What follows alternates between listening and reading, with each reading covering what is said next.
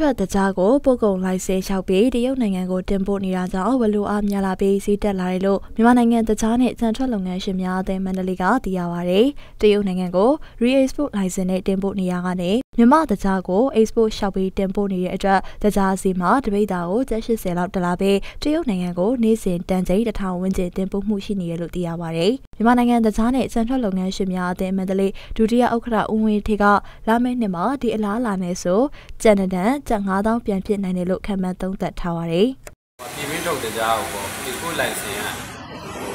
ကဟိုရှောက်ပြီးတော့သွားကြတော့အဲကြတော့ခုလောလောဆယ်ကတော့ဒီပမာတရားအဝယ်လိုအားများလာတဲ့အတွက်သူတို့တရားသေးက1220လောက်ကနေ1300အထိတက်လာတာ။အဲတပိတ်တာ80လောက်တော့တက်လာတယ်လို့ပြောရတော့အဲတော့ဒီဝေးစိုက်လို့ထုတ်လို့ပြီးတော့အားရှိတယ်ပေါ့နော်။ဒီဟိုကသွားနေတော့ resource လိုက်နေနဲ့သွားနေကြတာပေါ့ အခုကကြတော့တည်တံ့ပမာတရားအနေနဲ့ရှောက်သွားကြတာ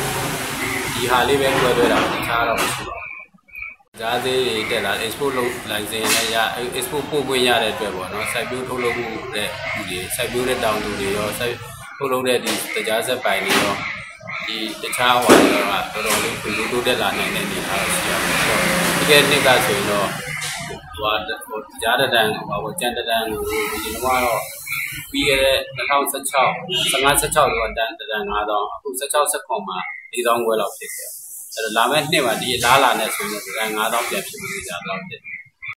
ပြည်ပသကြားတွေမှာ re-export license မရှိတော့ပို့လို့မရဖြစ်နေတဲ့အတွက် ပြည်ရင်းကတကြားကို export license ရှောက်ပြီးပို့ကြတာကြောင့်တကြားစေးတက်ရခြင်းဖြစ်ပြီးမောင်ကိုဝင်လာတဲ့တကြားနဲ့လုပ်ငန်း license ကပိုရှန်တကြားတွေဟာနေဆက်မှာ re-export license မရှိတာကြောင့်တကြားတွေစုပုံနေပြီးထပ်ပြီး re-export license ပြန်ပေးရင်တော့ပြည်ရင်းတကြားစေးပြန်အေးနိုင်တယ်လို့ဦးဝင်းထေကဆက်လက်ပြောပါရယ်ပေးတယ်ဆိုတာက Vistro ကတော့သူ့ရဲ့ license နဲ့တူပေါ့နော်ကျွန်တော်တို့ကရန်ကုန်စိတ်ကမ်းကိုရောက်မယ်ရန်ကုန်စိတ်ကမ်းကနေကျွန်တော်တို့က Mu Cell ပို့တဲ့ system လေးတစ်ခုပဲပြည်တွင်းထဲကိုချမရောအောင် အဲ logistic company တွေနဲ့ပေါ့တခြားအပ်ပြီးတော့ဖွင့်ဟိုပါပေါ့ပြည်တွင်းထဲကိုဖွင့်ဖောက်ပြီးတော့ရောင်းလို့မရအောင်ကျွန်တော်တို့ကအဲ system လေးတိစောက်လိုက်တာနဲ့ဒီသူကကျွန်တော်တို့ပြည်တွင်းထုတ်လုပ်မှုမထိခိုက်ဘူးအဲ့ဒါအတွက်မေစုကလည်းပေးလို့ရတဲ့အနေအထားရှိတယ်အဲ့ဒါဆိုရင်တော့ကျွန်တော်တို့လက်ရှိပြည်တွင်းစိုက်ပျိုးထုတ်လုပ်တွေအတွက်တော့ဘာမှပြဿနာမရှိဘူးเนาะစားသုံးသူတွေအတွက်လည်းကျွန်တော်တို့ကလုပ်ငန်းရှင်တိုင်းကိုတရားတင်သွင်းကိုပြီးထားတယ်အဲ့အတွက်တရားသေးတက်เสียအကြောင်းမရှိဘူးသူတို့ပစ္စည်းထုတ်လုပ်တဲ့ပစ္စည်းကလည်းဈေးမြင့်เสียအကြောင်းမရှိဘူး အဲ့အတွက်ကျွန်တော်တို့ကတော့ဒီ process တွေကတော့ win win situation ပေါ့နော်အားလုံးအတွက်ဟိုပေါ့အလုံးအားလုံးဒီ society တစ်ခုလုံးကောင်းမွန်တဲ့အနေအထားဖြစ်နိုင်တယ်အဲ့တော့ဒီလိုမျိုးလေးပဲဟိုတိဆောက်ဖို့လိုတာပေါ့အဲ့တော့